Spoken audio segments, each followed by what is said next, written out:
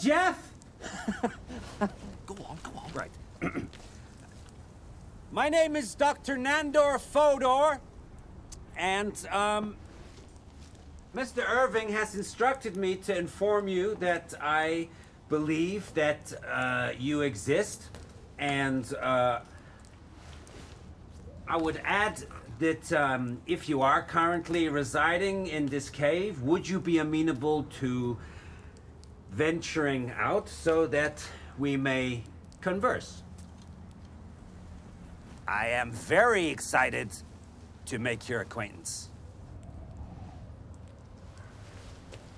How was that? That's brilliant. Really good. Brilliant. Yeah. I know, I'd yeah. come out. Thank You know, if he is in there, I have absolutely no doubt in my mind that speech is certain to draw him out. Really? Mm.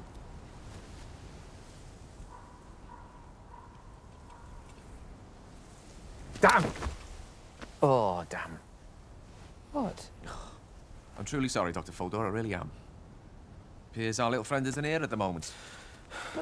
Perhaps he's in town. You know, probably slipped past us as we were climbing up.